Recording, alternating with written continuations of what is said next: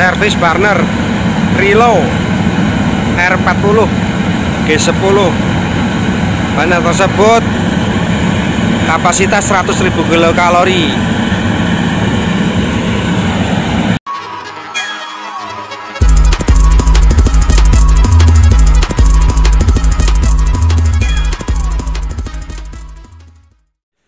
Assalamualaikum warahmatullahi wabarakatuh. Sahabat-sahabatku, youtuber seluruh Indonesia dan pelaku industri Di mana pun berada Pada kesempatan kali ini saya akan coba menganalisa kerusakan burner R40 G10 merek Rilo made in Italy. Kebetulan burner ini uh, baru datang dari Medan ya pelanggan kami yang di Medan.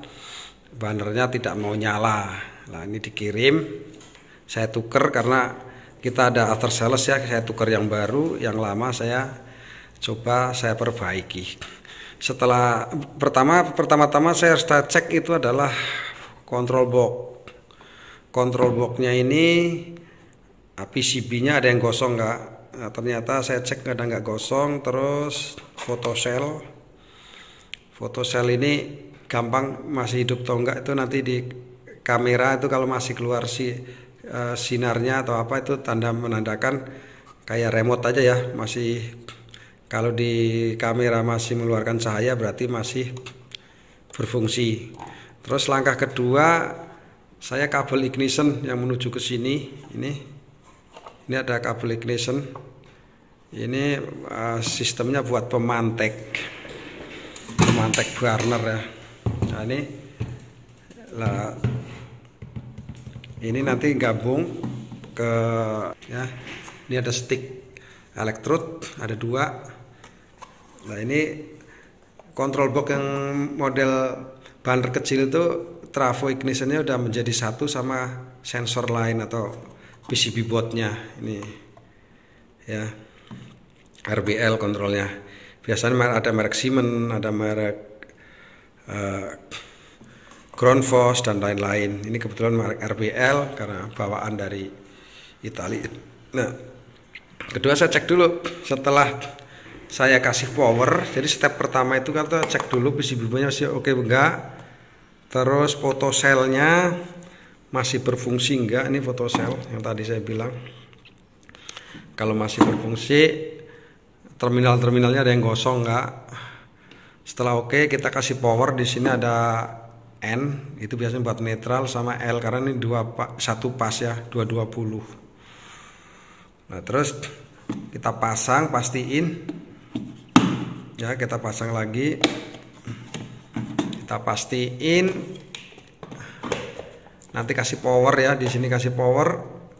Kalau nyalain terutama burner blowernya hidup enggak pertama kita starting tuh blower damper ini buka enggak ya damper. Ini kalau di starting awal itu pertama buka adalah dampernya. Damper buka seperti ini ini sistem hidrolik. Ada yang sistem manual juga ada di kunci sini. Nah ini kalau ini udah buka berarti minyak mensuplai ke sini hidrolik bekerja.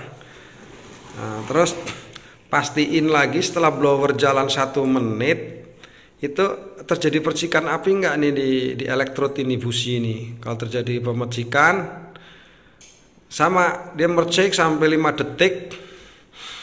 Kok nggak mau nyala atau tidak terjadi pembakaran? Kita cek nozzle. Nozzle-nya ini ada bumpet nggak? Nih kita bisa buka pakai kunci. Ini nozzle pengabutan dibuka ada ada tersumbat atau enggak kalau nggak ada kita urut juga ke sini. Lah setelah nozzle nggak ada pembubutan atau apa yang perlu kita analisa pertama adalah solenoid solenoid valve ini kita cek gampang ngeceknya cara ngeceknya tuh nggak usah perlu itu. Jadi burner nyalain setelah blower muter sekian satu menit terus ignition pemantek mercek dalam hitungan 5 detik ini pasti akan bunyi tek. Lah itu sistemnya nih NONC normal open normal close. Jadi kalau ada perintah untuk open. Ini ada indik, uh, induksi jadi terjadi magnet di sini. Terjadi magnet maka akan ada bunyi cetek gila itu tandanya buka jadi sepluyer yang di dalam atau katup yang di dalam tuh buka untuk mengalirkan ke pengabutan atau nozzle ini. Lah nah kalau nggak nggak keluar masih nggak keluar padahal si solenoid udah terbuka kok masih nggak keluar minyak. Pasti pompanya bermasalah. Pompa ini bermasalah banyak faktor yaitu ada keausan di sistem rotarinya atau skrunya ini aus aus itu disebabkan oleh minyaknya yang nggak bagus atau kotor. Ya udah kalau udah udah pompanya udah rusak mau nggak mau harus diganti. Kalau diganti masih nggak mau nyala juga.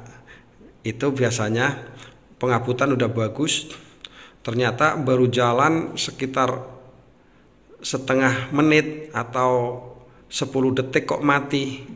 Berarti fotosel yang tadi ini rusak atau tidak bermasalah. Harus diganti.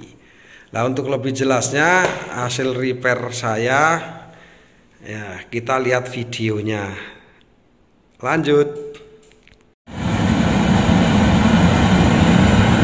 Service burner Rilo R40 G10 Bahan tersebut kapasitas 100.000 kilokalori